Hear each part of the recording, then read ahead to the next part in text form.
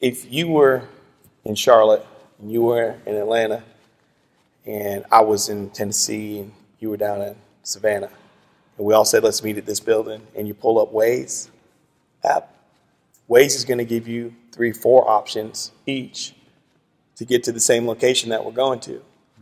It's almost like the way our maps are in our own heads. The only difference is we don't get all those options in real time, and there's not a bunch of satellites helping us.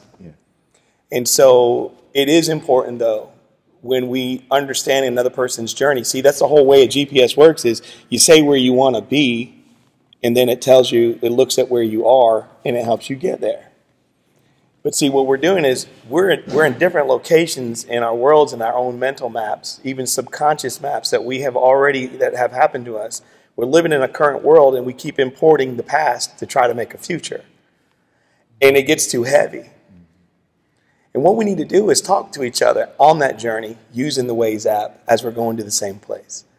Because me coming from Tennessee, you saying, Tim, why are you dragging? Well, I'm coming through the mountains. It ain't, I don't have a problem coming up, right? you you two are hitting, you know, 85 uh, coming. He, you know, he's hitting up from the beach, feeling good, right, from Savannah, right? I'm coming through the mountains and hoping there's not a landslide, right? Because I'm gonna get all you guys to buy me a new car. but that's what happens when we're trying to project our journey on other people, instead of getting a better understanding that my Waze app and your Waze app is different. You saw the daily bread. Here's the new recipe You can expect to see more transparency. 5,006 figure earners is success to me. Giving the best of me, my living legacy.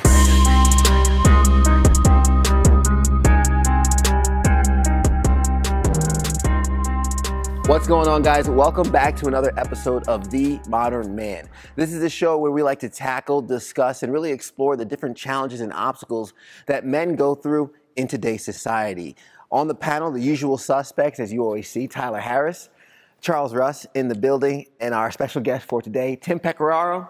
What's going on, man? Hey, man. T-Pack. T-Pack. Yeah. hey. I'm here. I'm here. We're going to have some fun with today's topic. And this is actually a really exciting topic to discuss about in terms of raising standards, not just for ourselves, but for men. And before we kind of jump into the, the nuts and bolts of this, Tim, why don't you introduce yourself and kind of let our viewers know who you are and what it is you do?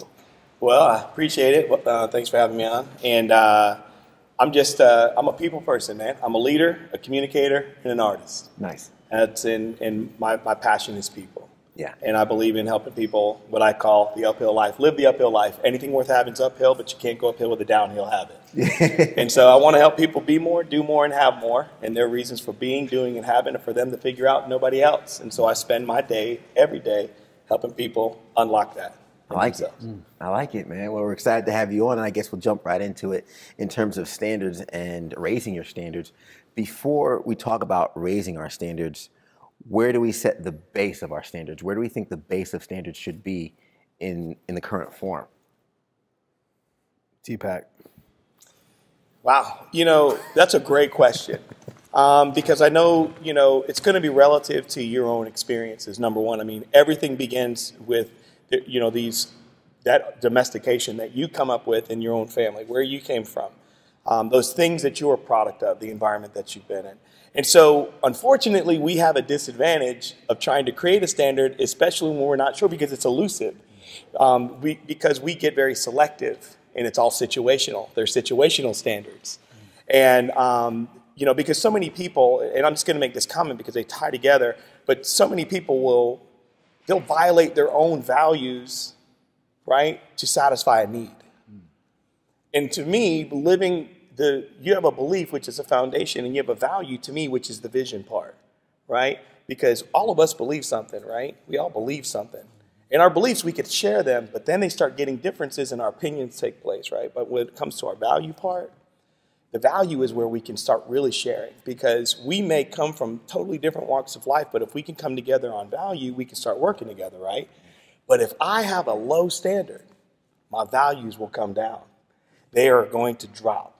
And then what's going to happen is going to put me on shaky ground at my belief level, which will cause me, as a human being with a need, so let's just say I need certainty as a need, just love as a need, or connection as a need, I'll violate my own values to meet that need. And that's where it seems like it's an elusive thing. That's why you've got to be clear, I think, at a base level to start with the simple thing. What matters most to you? What is the thing that will not only just benefit you, but other people? And it's at a simple level. For me, like an example of a value is just being intentional about everything I do. In other words, I do it on purpose. And I want to be able to make it at least at that level. I want to start there because then I can express beyond myself and see value come from me and out into the world. Yeah. Now, to start in terms of seeing those standards and those values, some people might not know what their standards are. Yeah. They might not necessarily have a vision or a value because they haven't taken the time to either reflect with themselves or with their environments to find out exactly what it is their standard is or what their their values and beliefs are. How can somebody go about exploring that in themselves? I mean, the the topic of today is how we raise them. Yeah. And so I think your standard is just where you are right now. It's just taking an honest look at where you are because there's a big difference between where you say you are and where you are. And so taking an honest look at where am I right now with my business, with my relationships, with my body, with my mind, and understanding that that now becomes the floor. And when we talk about raising it, it's it's now looking at how can we take it to the next level and raise those standards. And I think this will be a reoccurring theme for me because it's something I've just been listening and reading a lot about lately in regards to this conversation. But if we think of standard as the thermostat, of our life. See, the, the thermostat is, is, is where we're currently at and where we're comfortable and where we're sometimes complacent. And when we all of a sudden have periods of time where, where things heat up, where things get better, we'll somehow figure a way to get things back down to where our thermostat is set, to where our standard is the same is also true if all of a sudden we go through a period of time where things aren't going so great. We'll figure out a way to get them back up to where our thermostat is set in that standard. And what I'm excited about is later on in the episode, really getting into how do we raise that standard, which is how do we raise our own internal thermostat. Um, but the standard should just be where am I today? And being very objective about it. You are where you are, and no matter where that is, good, bad, and indifferent, that's the standard now. And let's get on to, to how do we get get that thing moving up. yeah. uh, I would offer like a little, maybe a slight word manipulation. Um, from my own experiences, my own trials or whatever, there are times I've been below what I would consider my standard. Um, and you know and i love to tell myself and i guess that that's also part of the episode is raising the standard. Like i'm never dropping below this. You know that's when i think standard i'm like that's basic bottom line. I'm not getting worse. If i do a true self-evaluation and then i look at that evaluation and assess it i may not be at my standard. I mean like no this is bad. This can't be my standard. It has to it has to raise. Now as far as setting that standard you know i, I love what you said. I mean he went straight into the deep water like Oh man, you know I'm I'm a analytic action plan boom boom boom type guy, and the fact that you explain that is awesome uh, already. So you've already got no. I'm giving you a clear one two three four five six how we're going to get this thing done. That's that's my type of, of conversation, my type of thought process. Uh, but establishing what your standard is, there's way too many variables. I think for me to give you a cookie cutter method it's long conversations, it's some thought, and it, it should be something that you really think through. It shouldn't be something that you can do in five minutes or probably not even in a day. You know, your standard, your standard, and if we're talking about as a man, that should encompass everything you do: your fitness, your mental, your your your work, your family, relationships, all that stuff laid out is this is my standard for my life um, so to establish that, it'll depend on a lot of things. It depends on okay, how much do you value your physical fitness? Where do you see it at? You know, what do you want from it? I just want to be able to get off the couch and be basically functional versus I want to be a, a savage. Yeah. Neither one of them's wrong. I think I know kind of where we what we would all say, but neither one of them's technically wrong. That guy just look, man, I do I do 30 minutes Pilates and I walk three miles twice a week. That might be his standard, and he may be okay with that. So establishing your standard, the key word is actually your. It's yours it's what are you what is going to allow you to to have fulfillment at the lowest level.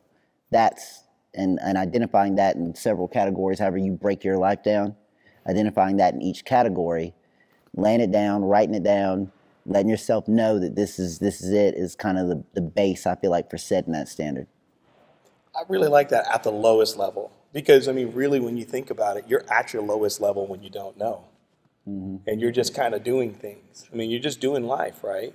And and what Tyler said about just the that really sitting down and asking those questions, you know, not why am I doing this, why am I behaving this, but it's more of what, you know, it's a what question, you know.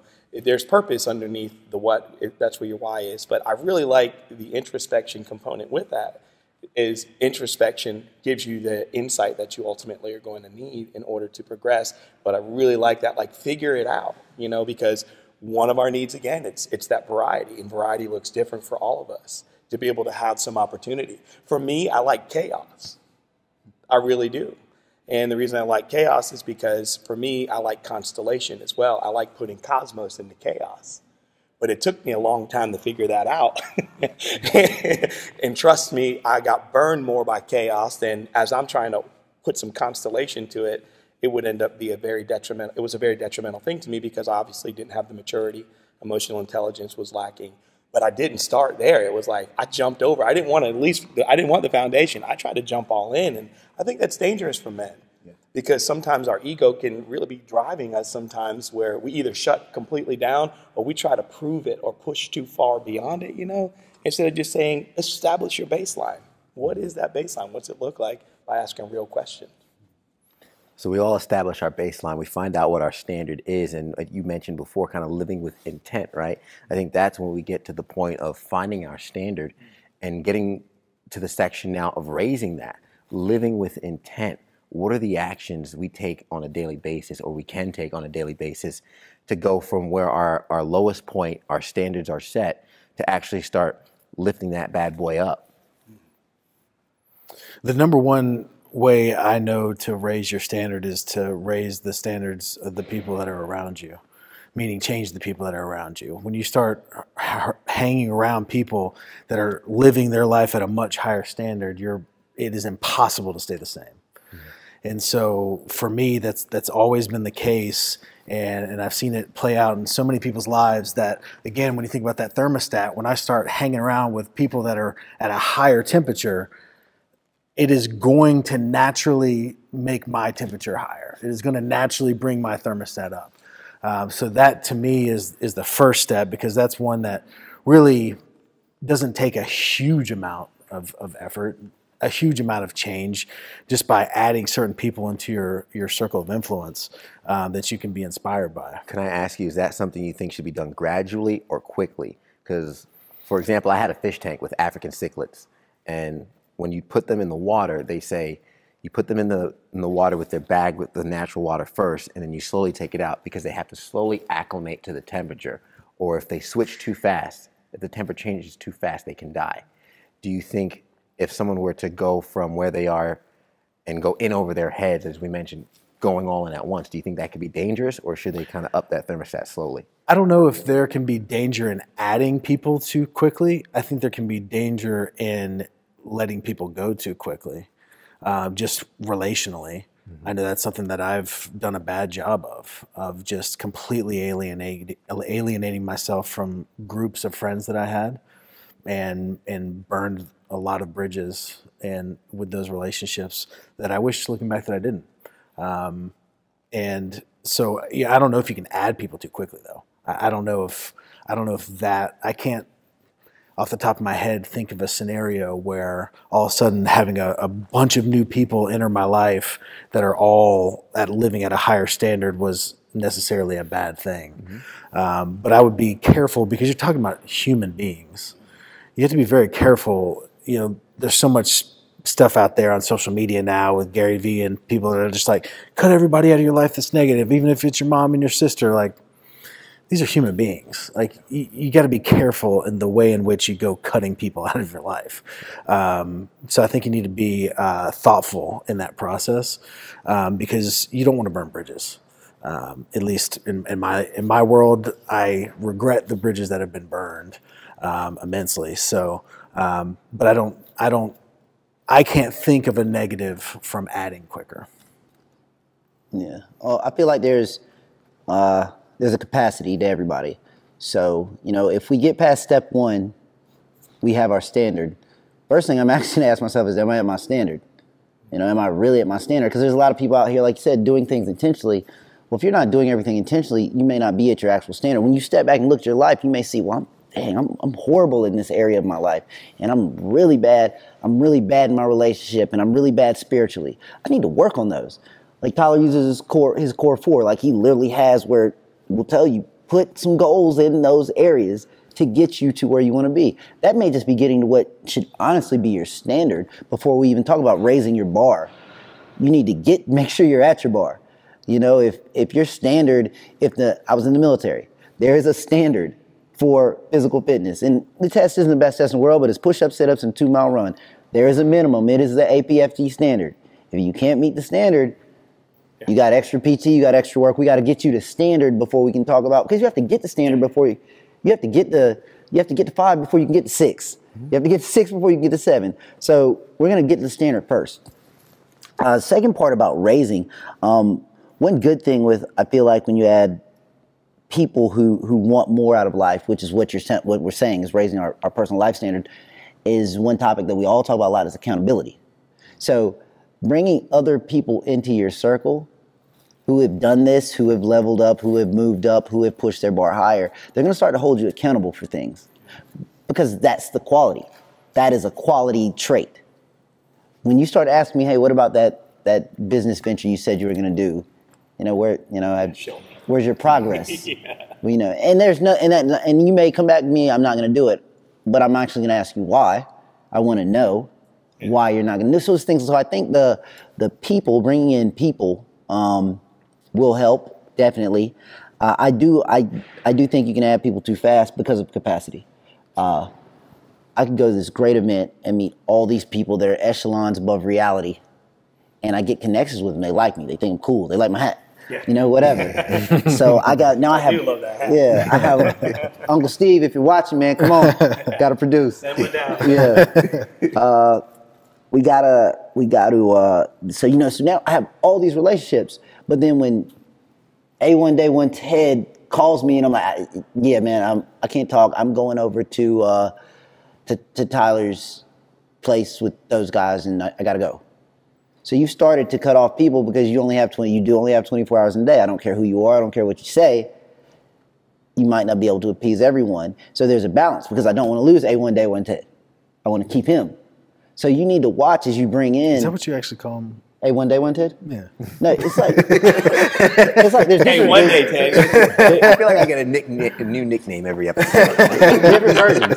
There's different versions, you know.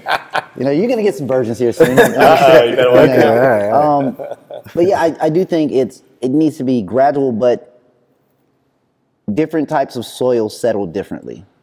So I may bring in three people, and all of a sudden four people just disappear that I that I really needed to disappear. It may happen like that, and that's perfect. So now I can go out and keep keep searching, keep looking, keep building more relationships.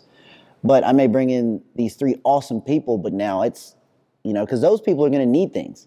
They do, and maybe they just need that conversation. Maybe they need your time. Maybe they, you know, they will need something from you, and you need something from them. You need their time, but that time, that time is that resource. But now I have to take that time from somewhere else. I'm pretty sure none of us have. I would love to tell you, I got five free hours a day, buddy. I can expand. I can have more conversations, but I don't. I, I don't think I have one, you know. And if I do, it's. I mean, you got. I got my time in shower, time in the bathroom. But even if it's with my girlfriend, with my kids, uh, with my grandmother, with my brother and my nephew, at church, working out, personal training, financial, I, I don't have it. So when I add, something has to go, and these are people. So when you start cutting people, I think naturally some people will go away just by the order of change. But to overdo it and just give every a lot of people the boot exactly what kind of happened, because you honestly, if you look back, it sucks that it happened. But if you still had all of those people and all the new things you're doing, something's going to suffer. It has to because of minutes, of, of seconds. So I do think a gradual addition and a, an expanding of your circle is the way to go. because it will bring that accountability and that desire to want a better standard for yourself. So if we're surrounding ourselves with, with new people that are living on another level, um, I guess I'll pose the question in terms of whose standard do you live by? You know, we're all professional chameleons at one point in our life, you know, and we're, we're really good at borrowing color and taking color from the world and then calling it our own. When the world is waiting for us to put color back into it. You know, 99.9% of us is exactly the same in every human being, but 0.1% of us is unmistakably you. You know, it's like your fingerprint and mine, and none of us are the same. Never will be until you, and never after you. But deeper than that is the essence of who you are, the intrinsic stuff, your real value. That's unmistakably you. That's that 0.1%. That's why I tell people we're all a bunch of others, all the things we get caught up in. So, who should you become? I think it's okay sometimes to borrow, but not pickpocket, not pickpocket or breaking and entering, taking it. I'm taking this. It's okay to borrow someone's influence for a little bit as you're learning and you're a student. And I think that's a really good thing.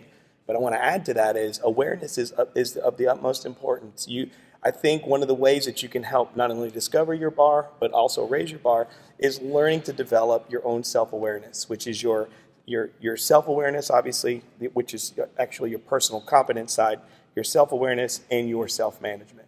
Then you have the social side, social awareness, right, and relationship management. Just in those four little areas, we can understand, like I like to use this weight analogy. Remember when you were a kid, you didn't know if you could lift the bar on the bench. You know, you get a little nervous. you know what I'm talking about? And then you see all these other people. What do you do? You want to borrow their strength if you can. Then you start doing comparison, all these things that you do. So that's where it gets a little tricky. But if you were to say to one of them, I'm a little scared, man. I don't know if I can. I got, I got by the bar, but you jokers are throwing 45s up on the sides, right? I don't know. Can I do can I do two 45s? Can I do four? I mean, you know what I mean? Like, what can I do? We have to make some vulnerability there. Be aware of how you're showing up. It's okay to get some chameleon cloak a little bit from them so that they can put a little there. But eventually, you've got to start putting yours out. And I believe that will naturally help you raise that standard. So I think it's a, it's a mix to begin with. Take on some of that, get mentored, get developed. But eventually, you got to step away, you know. And I know some of you are people of faith. You know, I think you all are. But um, that's why I say you need a, a Barnabas in your life, you need a Paul in your life, and you need a Timothy. You need a Barnabas who's not impressed with you, you need a Paul that can mentor you, and you need a Timothy to pour into. And I think when you're doing that, you're going to find the exchange of all of those in all of it. Wow. So, how do you go about becoming more self aware? Here's the million dollar question. We, let's turn that on. That's emotional. While we're at it, that cancer thing, I've been really wanting to get rid of that. yeah, we're working on that too. Right? uh, I feel like I'll, I'll take a, a, a, swat at the unhittable. Um, there's an emotional maturity that comes to different people. I mean, I've talked to people younger than me, and I've been like, amazed. And I've talked to people that are 60 years old and I'm like, man, you just don't get it. Whatever it is, you yeah. do not get it. uh, so, but that also comes with, you know, emotional maturity as me understands. It's weight room's a, a great example. So my, my magic number is 275. As long as I can bench 275 and it doesn't hurt. Like, as long as I, you know, because I, I, try to limit, you know, we've had a lot of talks about training and, you know, if you guys were, you know, bench press is not a, a functional exercise. It's not. But it's a uh, exercise. 275. If I can put it back, good. Don't care about anything over that. Don't care at all. My kids are now in that high school age and they're like, bench press. And I'm like, well, just watch your shoulders, but have at it. But that's emotional maturity. Can I do more than 75, 275? Probably, but I don't care. That's my standard. And then within that area of life, in that area, I'm good. Yeah. I don't want to make changes there. Now, one thing I made a lot of changes in my church life recently. Like, I was going, but I wasn't doing anything. I was just there. You know, I, I go, I listen, and I'm out. Sit for the week. I'm good. Now I started participating, started uh, bringing friends, started, you know, getting on board, started being a part of what was going on. So for me, that's that's raised. I raised my standard there, and and I need more. But I was very. But the whole point is that I was aware. but that's by analyzing my own standard. That that that is a very that could be a very key role for someone in becoming more self-aware. Look at your own standard and tell yourself honestly, is that making you happy right now? What you've established as your standard. And at some point, hopefully you'll say no. But there are people who are just permanently complacent. They, those people exist. And I, now another a whole other thought process is: Are they actually in a better position in life than we are? Because they're because they're happy. Yeah. They're they are happy, Yeah. and and they're laying in the grass with their kid, and they're happy. So, to- So- to, that point, with perception being reality, if they're happy, and we talk about, I, I pose the question for self awareness because everybody's going to like you can't tell a mother that her child's ugly because it's her child. And but we we feel the same way about our businesses. We feel the same way about our artwork.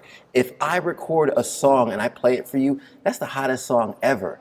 But you might tell me, "No, Ted, that's a terrible mm-hmm. song." But I recorded it, and I can honestly look at it and think it's the best thing in the world. But my self awareness is lacking in the actual quality of what I created. So that's why I guess I posed that question, kind of leading to in, in terms of who do, who do we listen to?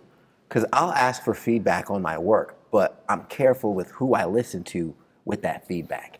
I'm careful with, okay, one person might just praise me up and everything I touch and do is the greatest, but there could be rooms for improvement. And if my standard's higher than someone else's or not as high as somebody else's, how can I pick and choose who I listen to? I think you just threw three things, and if I don't say them, I got to get them out because if I don't say them, I'll forget them. you just threw together self-awareness, value, and purpose all in one thing, like in one question, which is very awkward. So you can love your song, that's fine. You can be, you know, if you're self-aware or not, you can love your song. But what's the purpose of the song? Is it for your entertainment? Then it's awesome. It doesn't matter what anybody says. Are you trying to take it to a recording studio and make a, rep- a record? And the 10 people you talk to tell you it's horrible? So now the purpose, the purpose of the song determines if it has any value. So if you're trying to take it to a recording studio and make money with it, it's not going to work because no one likes it. So it doesn't have any value. So those three things, they play into each other in determining. Um, so I think the purpose, what is the purpose of the song? You know, what is the purpose? So free time is probably, or free, I wouldn't say free time, time we spend, we spend with a loved one. What is the purpose of that time? You know, if you do have a free hour just for Ted, what is the purpose of that free hour? That, deter- that literally will determine what you should do. The purpose will determine, will, will, will help you give it value. You know, will help you decide, yeah, that, that, that was a good free hour. You know what? I have been tired and there's a show I love and I haven't seen it in months. I'm gonna watch two episodes. I got two hours. I'm gonna watch three episodes and I'm gonna stretch and relax and let my body recover because I'm tired. But if you have, so that, that's a great two hours, right? Not if you have, like I know you have your online shop. I watch. So, uh, Appreciate the plug. yeah. yeah. Um, but if you have 60 orders to fill mm-hmm. and you didn't take those two hours and fill some of those orders, you, you know, what's the value? So just don't don't let the the purpose determine the purpose before you start placing a value on something. I think it's all about accountability. And and so it's having accountability in each of those areas. Having people that hold you accountable in each of those areas. Seeking out people to hold you accountable in each of those areas. Um, because unless you have someone or something holding you accountable, I have just found that I cannot hold myself accountable to certain things. You're your worst accountability. Yeah, the worst. Um, and I thought it was just me. I'm glad you guys are the same. Agree. So, but so you need that. Like for me, like I, I needed accountability in my faith, and so I sought out one of the godliest people I knew, which was Jonathan Parker, who we had on uh, a previous episode. And I was like, man, I need accountability in my area of faith. You know, would you mind doing a devotion with me and keeping me accountable on that stuff? And he does all the time. Um, and then in all areas of my business, and and it's just you know I hired a trainer this year because I hated waking up in the morning going to the gym, and I knew the only way I was going to do it is having someone there going, "Where the heck is Tyler at? He's supposed to be here." Uh, and so I think you know looking at that as those that circle of influence that we begin to surround ourselves with, those new people that we bring in. I, if we look at a desired future standard as a goal, which I guess that's probably the definition of a goal, then who are the people that we can bring into our lives that represent our goal in that area? So for me, like faith, it was Jonathan Parker was that for me for faith. Um, who's the person in my business that I desire to raise my standard to? Okay, it's Joe Schmo. Well, I need to figure out a way to meet Joe Schmo. Joe Schmo may be a dude with 8 million followers on Instagram that lives in California.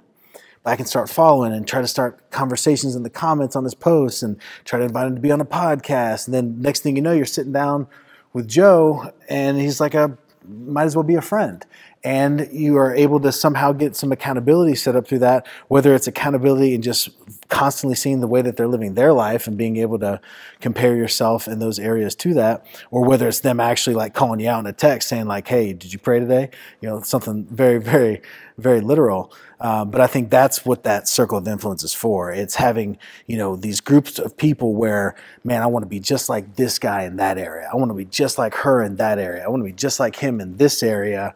And knowing that that's, that's like, that's the role that they play in my life. And all together, that makes this incredible group of people that all kind of represent this higher standard that I want, uh, that I want to be at. Um, that's, that's it. That's it for me. It's just accountability. And I like what he was saying is it's that influence because, you know, everything that we do, we're an influence. Whether we think we're not, you know, we are. Everything you do, I don't care if it's good or bad, you're, there's influence. Um, and that accountability is, is so important that we need to be, I mean, a lot more mindful and a lot more discriminate. Um, you know, we talked about even, you know, adding people too quick could be a detriment in some cases. I think so, the capacity part you know, Tyler, you know, his experience is a little and, different. And I'll touch on the, when you said that, it just made me, it gave me this realization that that's why I messed up because I forcefully put people out because I was taking too many on. Yeah, and and and, and that's but see that's that's what that's standards, right? It's going to affect us and have impact, and um, I, I call them necessary endings, and I think they need to be done with care. And this is tying directly into your question, you know, and looking for that you know, bringing it to somebody. Um, you know, anywhere I go, whenever I speak, I work with some great organizations. I coach people one to one. And the thing that I, there's three questions I have. Do they know that I care? Do they know that I add value? And can they trust me? And that's it. And when I leave, that's what I'm thinking about. Did they, did they experience my care? Did they experience me adding value to their life? And do they know that, can they trust me now with what I said? Was it true? Was it authentic? Was it integrous? Was it congruent? You know? And that's important. So when I'm going to bring something to someone, like, you know, even talking right now, like to me, it's like it's not mine, but even putting the things out here, I trust this enough, right? I, I know from this connection, right now I'm meeting the two I'm hearing you. These things are, they gravitate, you know, what's on the inside, they, they connect, right? Because you can only attract what you are. I mean, that's the way it is. And you can only reproduce what you are. All right? So I'm feeling this. And so for me, I feel like care, add value, trust, right? So I, I wouldn't mind throwing an idea out here to this group. And I think that's a little, and once again, it's a standard again. When do you introduce it to someone? Ask yourself those three questions. Can I, you know, how do I know they care about me? Can they add value? And can I trust them? But you got to be equal to that as well. Do I care about them? Can I add value to them? and can they trust me? So. It was a great point about well, he just kind of without saying the word group. Groups have standards. Like yeah. when you surround, so when Tyler was saying you bring those people in, you become a group. Groups have standards. You know, like even the guys that I, I mentor, I'm like now, and then the more I expect of myself, the more I expect out of you. You know, so there it's 100. percent It's like uh, when you get a professional professional certification that, that, that organization has a standard. Now you have to do this, this, and this every year. You didn't have to do it before, but that wasn't your standard before. Like if you want to be a CPA or you want to be a CFP, you know, a certif- you have to have it's a credential to keep it to meet that standard. Now there's additional additional requirements because groups do have standards. So totally rolls into like you're saying, changing that group, making and if you don't have it, you don't create it create it, bring four or five people together. You know, I mean, I think we've all met people through, and this is our first time meeting, first time meeting you, but we've all brought people to one another. Yeah. You know that that have become kind of a little a, a, different type of group that you know you can reach out to and you know throw ideas off of and, and talk about things. So that's I awesome. That's the perfect segue into the, the next portion here because we're talking about raising our thermostat, raising the groups and the people we surround ourselves with in order to increase our standards. And at some point, as we increase our standards, there's going to be people around us that don't meet our standards. Yeah. How can we, I guess, gently hold others to our standards? Because not everybody can simply be dismissed and left behind if we're talking about a spouse, a sibling, family member, a childhood friend that might not be up to your standards. How do you mm. softly impose that on others? Um, don't you don't. Do you, you not ne- hold others to a certain standard? I don't hold people to my standards. I hold them to their standards. Mm-hmm. I would never hold you to my my standards. Okay, what if my standards two seventy five? My standards two seventy five. There so do I? I'm not going to drop you if, just because you say your standard is 225. That's not it. Now, if I feel like your standard is is is beneath you or or you could do better, I'm going to tell you that to your face. I'm going to tell you because I'm your friend, and I want you to to have the maximum out of life. If you're like, no, it's not what I want, that's fine. That's okay. I'm going to hold to your standard. The only time I feel like it becomes an issue and I need to sever that relationship is is your standard pulling me down. But I'm never going to hold you to my standard. I'm always going to hold you to yours until the point where your standards start to slow me down.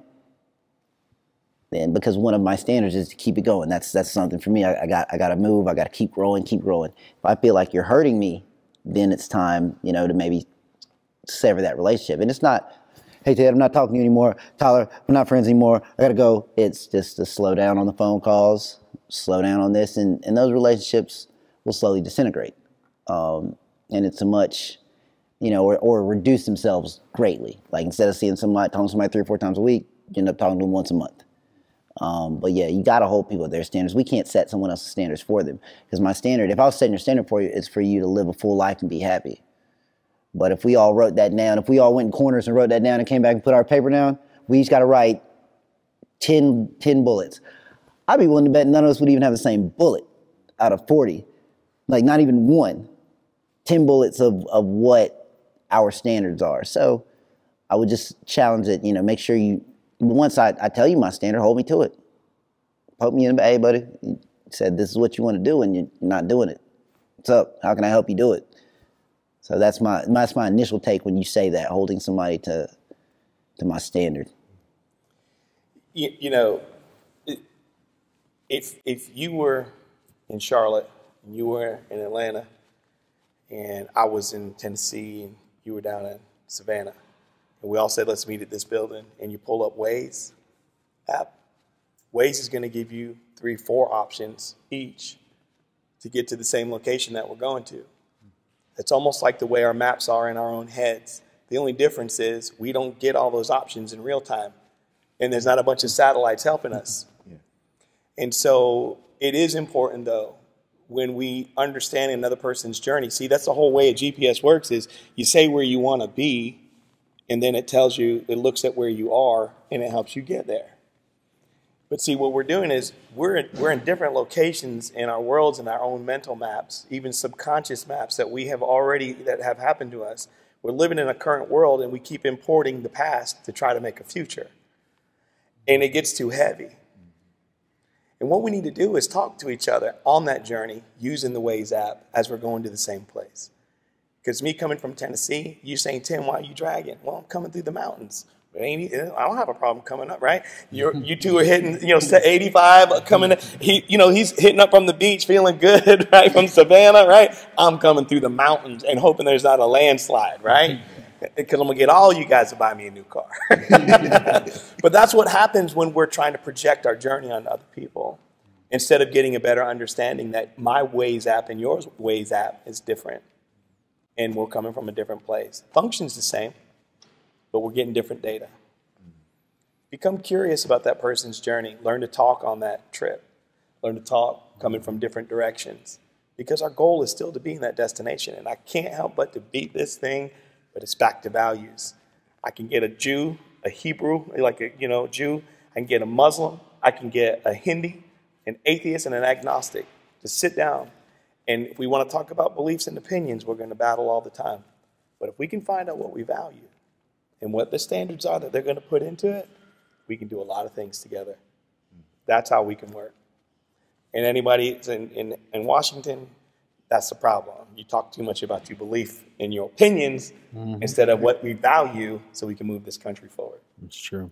And I think as a group of people here, we all have a desire to serve. And whether it's with a formal coaching relationship or whether it's mentoring, which I know you have a huge passion for, I think we have to be careful for that desire to serve others that are, that are living to a lower standard, allowing that to pull us.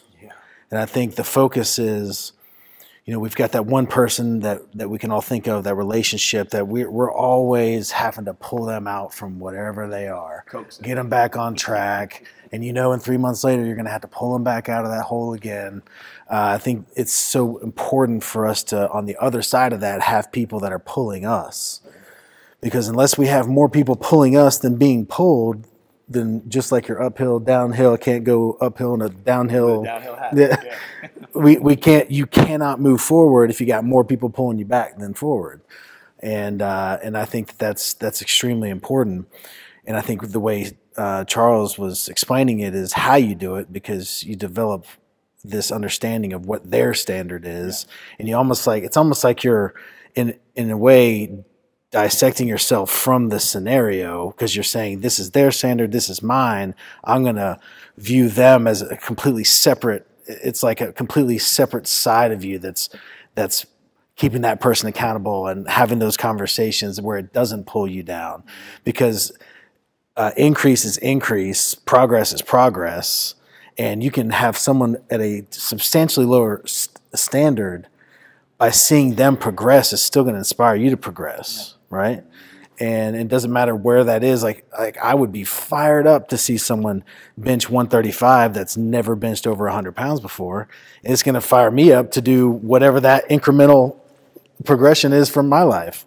Uh, so I think that's important just to keep things in perspective, uh, but to always make sure that you are adding people, whether it's virtually or in real life, that are pulling you forward, sources that are pulling you forward. So what does it look like when you start to chase your standard? What what is kind of some of the rewards you enjoy in life when you when you recognize your values? I'd love to get your insight on you know how someone goes about recognizing their values and then start living towards those values and those standards. What are some of the rewards and the benefits from doing that? You know, for me, people ask me, you know, why are people so important to me? Because you know, I grew up in so much dysfunction and so much brokenness, um, just trouble. Um, you know, I tell people I'm a, I'm, I'm a, to me, I view myself as Hamilton. You know, the song opens up, how does a bastard orphan son of a whore, you know? And, uh, but that's my, I love my mama, you know? And, uh, but that's what I found out was I fell in love with people through the fact that I wanted to grow. And so I fell in love with personal growth. And then I started thinking of the stories of people because I had one too. Not just the narrative I was telling myself, but the one that I wanted. So then I could put a demand on something. So if I have a desire for it, I have something, there has to be pressure. What good is a burden without any weight, right? You know, if I want the cream out of the little, if I'm gonna make a cake, say we're gonna do some little, you know, they do them cooking shows, and you see them kids making crazy things. You know, like mm-hmm. I'm like, that kid's got some talent. He needs to go to school, you know, or something. but if you don't squeeze, you don't get you don't get that stuff out of that piping. You know what I mean? How they it takes pressure, right? If you if we want to grow something without pressure, a seed won't break and release the essence. So, it, what's the story that applies to pressure? Because pressure is the privilege that we're all looking for. That's what that's the privilege to me. Is the pressure we all share. It's the it's facing peer pressure. It's facing your story and the narrative and facing the pressure of saying what narrative do I want to write. I got I got blank pages. Hopefully there's more ahead of me than there are behind me. You know, and that notebook will listen really good to me if I start writing, right? So for me, the, the benefit is is doing back to introspection and really getting to the lowest, discovering what the lowest thing is. What makes me happy? What makes me smile? Now, happiness to me is okay, but I'm a joy guy. Joy remains. To me, happiness is like little cobblestones that you put together, some grout, you lay them all out to someone's house. But when you grout them, that's when you can walk in. It's foundational. It's the collective of all the happiness that makes joy. bound together. And so it's finding those pieces of little things like that that help you determine and find those values to me and, re- and then set standards to say, I'm keeping them. I will go no lower than this. And I may have to have a necessary ending, but that may not mean that I won't fellowship or talk with you, but it means that I'm going to be further away from you. Right? Because I can't function that way. But the byproduct is, man, in peace between the still, stillness where silence is the sound. When I lay my head on my pillow, man, I have peace. And it's not in a flattened space, man. It's sacred. It feels cathedral like this room. There's space in there. I don't feel crushed by things. And that's to me the value of doing that. Hope, uh, yeah. So. I don't know what that means, but That's approval right there. Wait, uh, do I need do I have to cry? I'm not. I'm not ready for that. See, I'm, I'm moving too quick. I'm moving too quick. Uh, man, that was actually that, that was awesome. Uh, awesome explanation, awesome thought processes. Um, you talk about rewards. I mean, I have my method. You know, I'm like I, I, I say it over and over. I'm a system guy. I mean, my major in college was systems engineering, and I actually liked it. Weirdly enough, because it's systems. It's yeah. this to this to this. And that's what I like to give people. I mean, when I spoke at GVL Hustle, one of my things is I'm gonna literally give you something to actually do. Yeah. Like you, I want you to walk out of here tomorrow and you can do this. I'm not a pie in the sky person. That's just never been me. You know, because the same thing you say about uh, happiness and joy, I say it about motivation. Favorite dude, one of my favorite dudes here talk is ET. ET is awesome. But if you listen to ET at 7 o'clock in the morning when you get up, where's that ET speech at 12? Man, you were born for this. You were gonna do it. You were gonna crush it. Man, you get to your desk, you see a stack of paperwork, it's nine o'clock, ET is over. it is over. you, you were back to this dude. Bruh. So, you know, I, finding ways to maintain. So I tell people, um, now for instance, okay, if someone comes to me as on the financial side, they're like, man, I'm in debt, I need help. I said, okay, here's what's gonna happen. You're not gonna get straight out of debt. You're not gonna just chop it. You're not gonna. I, I can give you a, a budget, and I can say, okay, based on your budget, you'll be out of debt in 18 months. You're not gonna be out of debt in 18 months, guarantee you, because your car's gonna break down. This is gonna happen. This is gonna happen. This is gonna happen. This is gonna happen. Not gonna happen. So let's say this. Okay, that's your first credit card. When you get that paid off, tell me some things you want to do. I want to take my family on vacation. What's that gonna cost you? It's gonna cost this much. When you get that paid off, go on vacation. Go. Do it. All right. Then the next one, when you get here, what's something else you want? Well, I've been wanting a new custom suit. It's going to cost me like 700 bucks. Now, when you pay that second card off, get your suit. Buy it. And they, they start to question, is like, but it's going to take me two years to get out of way. It's going to take you two years anyway. Yeah. And you're going to be miserable. So the point of this thing that we're doing right now is not to be miserable. It is not to run face first into a brick wall the whole time. We're not put on this planet. We're not here to just work and work and work and work and work. It's not why we're here. There needs to be. So if you can't figure it out, I love peace. Like, but that doesn't work for a lot of people. Me and my girlfriend literally literally have peace arguments. See, baby, I mentioned you two episodes in a row. I'm doing good. Um, check. Peace argument. yeah. I literally have we have peace arguments. Like when when I get home, like some days, I mean, I'm, I'm sure we've all had the day. You get home, you don't really you don't want to talk, and it's not because you're in bad mood, but you are just beat down. Yeah. I mean, I, I, you were hustling. You might have had eight meetings, conference calls all day. I've been peopling all day.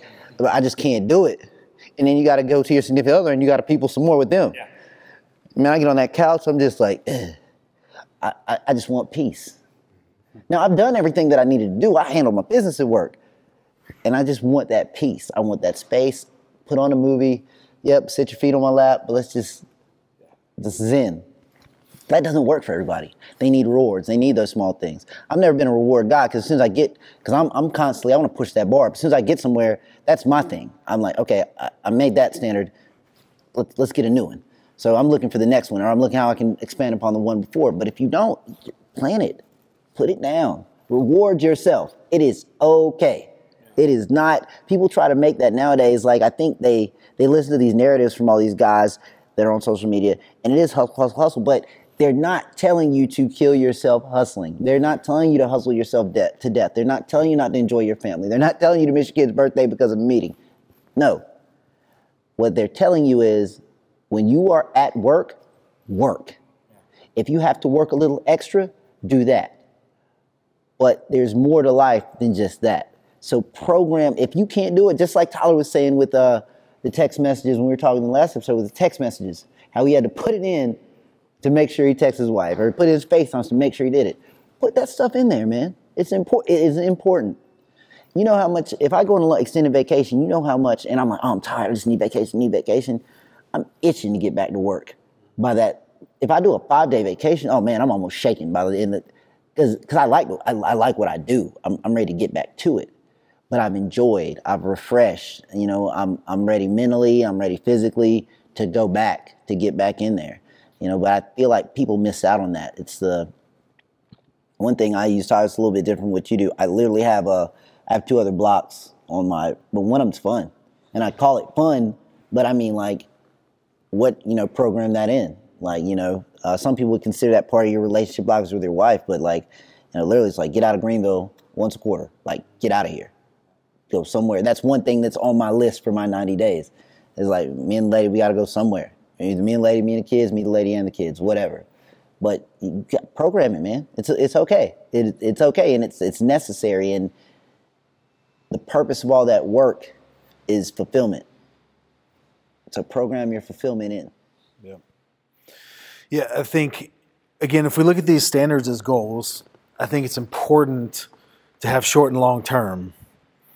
And that the entire, for me, the entire purpose of life is to con- is to constantly be going after higher levels of standard, going after goals, but if we only have these super, super long term goals, then we can one day die without ever hitting them.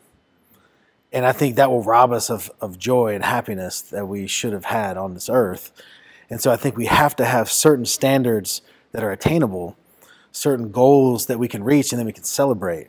Celebrate those victories along the way, because that's what brings me happiness is when I when I do, you know, hit a goal and whether there's an, a reward there or not, it doesn't really matter. It's the, it's the accomplishment of like, man, I wanted to get there. I got there. And as most men, we say, where, where to next? Um, but that's the whole process. And so when we look at this idea of a thermostat, and again, as a standard, and how do we raise this? Another area where I've seen work in my life to raise my standard, to raise my thermostat, is to jam pack a ton of activity into a short period of time. For me, 90 days is, is typically what that looks like. So for 90 days, just doing as much activity towards these goals as you've ever done before. It's kind of like, uh, you know, in a pool, you got the water line. Yeah. You flood a bunch of water in a pool, it's going to raise that water line. When the water goes back down, that water line's still there, showing you where you got to. And to me, that's what that crazy activity, because you can't, it's not sustainable long term. You can't sustain at this level. Like I'm talking about a level that you physically cannot sustain for more than 90 days. But going at it for 90 days, raising that watermark, raising that standard, raising what you thought may even was possible, then when your activity level goes back down to normal, you've still got that water line there that you remember what that looks like, you remember what that feels like, you remember what that tastes like. And then next time you do this insane amount of effort, it gets you above that. Now you've passed that water line that seemed crazy at first. Now you may even be able to reach that water line with your normal activity flow. And then now it's time for another just spurt of, of massive action in a short period of time. And by doing that over the course of your life, and it's not every 90 days, but you know, once or twice a year, doing just an insane amount of work in a short period of time will take your game and your standards to another level. Uh, and if you're simultaneously doing that while surrounding yourself by other people that are holding you account- uh, accountable for all these things, it's um, it's a powerful way to live your life. But I think unless you are celebrating those victories along the way, then you're going to be missing that fulfillment that we all ultimately want. Because there's no point in getting 10, 20, 30, 40, 50 years down down the road having achieved this success or this standard that we wanted, but not being happy that's that to me. I'd, I'd rather be lazy if I'm going to be unhappy either way. Um, so why go through all this massive effort? Why go through all this struggle? Because there's going to be struggles on the way on the way to meeting meeting any standard. Why go through all that if you're not going to be happy at the end of it? And and I think the way to do that is by having standards in all the areas of your life. If you've got a standard for your mind and your relationships and your body, then when you reach the business standard, you can look around and say, oh man, this is awesome because I'm in the best shape of my life also. And I'm in a great place spiritually also. And my wife and I are great also. but if one of those things get out of check, then it'll always be, oh, this is great, but there's this big gap here. Mm-hmm. And, and so to me, it's going all in in all areas and surrounding yourself with other people that are doing the same thing, again, proportionate to wherever they are in their life. So, a quick question before we wrap up here in terms of standards as they're being met. Do you think it's important to continue to raise those standards? Do you think complacency with the standards could could kill the growth? I think or, you have to. Mm-hmm. Th- and that's the uphill, downhill. I can't remember. It was awesome.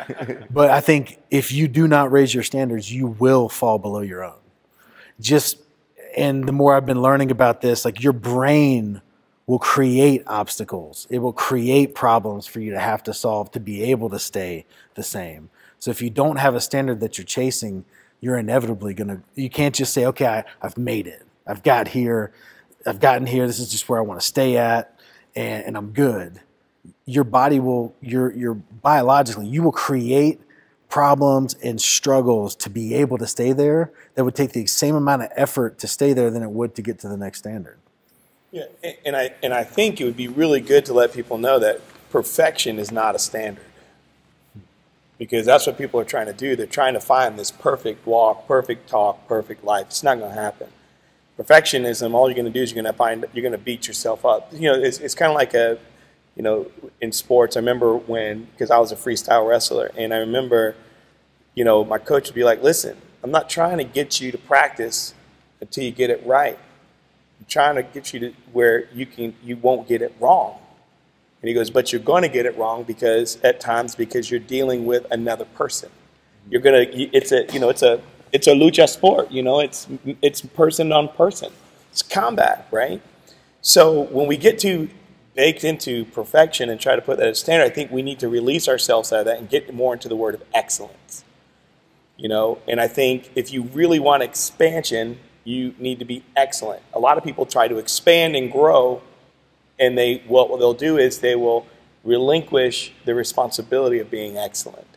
And so determining what excellence is for yourself, you know, because growth can only be sustained by structure, which I, I know you like steps and practical things you know, this building would not be here without the proper structure. So as they add on to the building, based on where beams are and everything else, you can add to it. So it is going to be a regular process. We're going to enhance some of our standards. They're going to improve. They're going to go up a little bit. Some of them may just stay. I mean, it's it's high enough, right? And not high enough meaning it's good enough because we know good's the enemy of great. It means it's solid. It's bedrock. It does not need to move.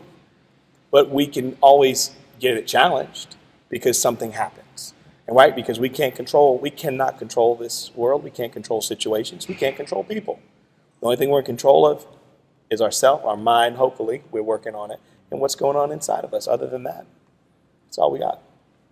So just make sure, I just want to say, don't let perfection be a standard. Yeah. You, you, it, it's elusive and you'll never win. And every time you reach it, you're going to find out you missed it. Mm-hmm. Every time. Well, guys, if you've made it to the end, some of the closing points here is first and foremost, audit your current position and find out what your base standard is. Secondly, surround yourself with those who are living at a higher thermostat level. I love the analogy with the thermostat in terms of what level you're living your life at. Increase that level. Surround yourself with folks who live at a higher standard. So you can then again raise yours and continue to raise your standards as they are met. Don't become complacent with where you are. So continue to grow. And our main worry, it sounds like, isn't that you're going to set your standards too low and meet them. It's that you're never going to chase the higher standard. So set the high standard, reward yourself along the way. And I want to close with a quote my dad told me, which really kind of changed the course of my life. He said to me, he said, son, set your standard and demand it mm. and don't accept anything below that from other people. Since I've done that, I've grown a lot personally and I've seen the people around me grow. I've seen my circle grow as well. So if you're listening, set your standard and demand it and go out there and be a modern man.